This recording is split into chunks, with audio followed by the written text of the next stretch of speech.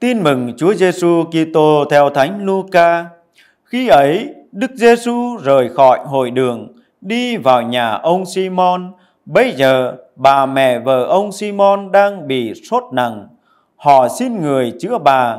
Đức Giêsu cúi xuống gần bà, ra lệnh cho cơn sốt và cơn sốt biến mất. Tức khắc, bà trỗi dậy phục vụ các ngài. Lúc mặt trời lặn, tất cả những ai có người đau yếu, mắc đủ thứ bệnh hoàn tật nguyền, đều đưa tới người. Người đặt tay trên từng bệnh nhân và chữa họ.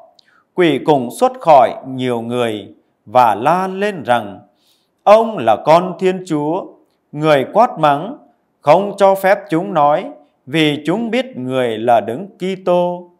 Sáng ngày, người đi ra một nơi hoang vắng đám đông tìm người đến tận nơi người đã đến và muốn giữ người lại kẹo người bỏ họ mà đi. Nhưng người nói với họ, tôi còn phải loan báo tin mừng nước Thiên Chúa cho các thành khác nữa. Và tôi được sai đi cốt để làm việc đó và người rao giảng trong các hội đường miền Jude. Đó là lời Chúa. Kính thưa quý ông bà và anh chị em thân mến, hôm nay chúng ta được nghe Thánh Luca tường thuật một ngày làm việc bận rộn của Chúa Giêsu tại Galilee. Cụ thể tại Ca Phác Naum, ngày hôm nay vẫn là ngày sa bát, nhưng đó là một ngày điển hình như bao ngày khác ở Ca Phác Naum với hai công việc chính là rao giảng và chữa lành. Đối với luật Do Thái, ngày sa bát là ngày nghỉ ngơi, không được làm việc.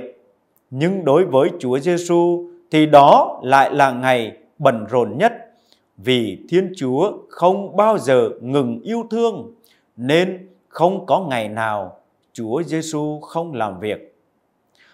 Dân chúng không muốn Chúa bỏ họ đi đến nơi khác. Tình cảm của họ rất chân thành quý mến Ngài, nhưng tình cảm đó không tránh khỏi sự vụ lợi. Vì có Chúa ở đây, họ sẽ không còn lo lắng gì nữa, không còn lo sự ốm đau bệnh tật.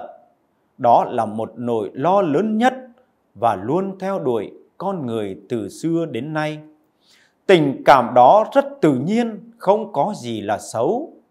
Nhưng Chúa vẫn không thể đáp ứng cho yêu cầu này vì Chúa mới phán, ta còn phải rao giảng tin mừng cho các thành khác, bởi vì chính vì thế mà ta đã được sai đến.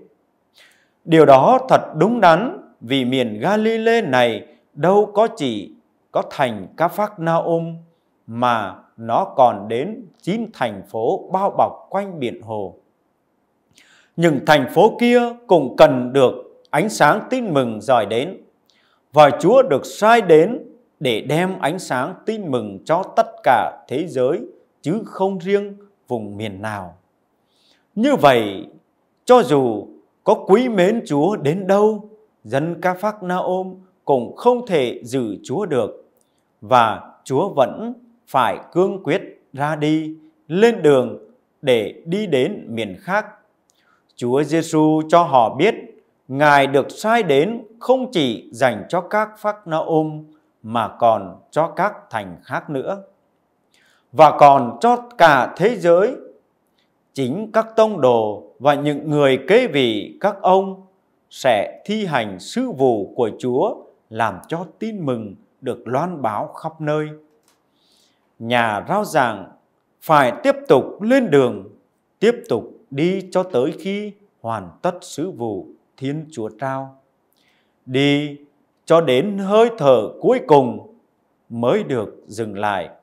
Nhà rao giảng không được phép ở lại một chỗ để tìm sự an toàn, sự ưu đại cho mình. Khi còn bao người chứ đang khao khát được nghe tin mừng, vì thế ngày nay việc thuyên truyền các linh mục đến nhiệm sở mới là điều hết sức bình thường nhưng chỉ những ai cố có tình cảm vượt trên mức bình thường mới biến sự thuyên chuyện bình thường đó thành điều khác thường. Các tín hữu cần nhớ, tin mừng cần được rao giảng cho mọi người và mọi nơi. Họ không thể ích kỷ chỉ biết giữ cho mình, vì giữ lại sẽ mất. Họ phải tìm cách khích lệ và làm nhà rao giảng an tâm để tiếp tục lên đường. Phần họ sẽ ở lại để củng cố và rao giảng tin mừng. Lạy Chúa, xin cho chúng con biết đem niềm vui của tin mừng đến với mọi người, luôn cảm thấy được thôi thúc, được sai đi. Xin cho chúng con biết sẵn sàng lên đường khi được Chúa mời gọi.